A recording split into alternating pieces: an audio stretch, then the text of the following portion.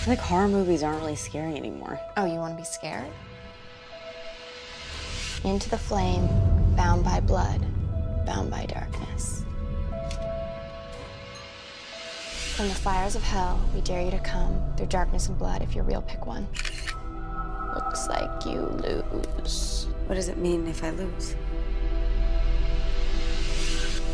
I'm really afraid I'm gonna die. I'm not playing this for the rest of my fucking life.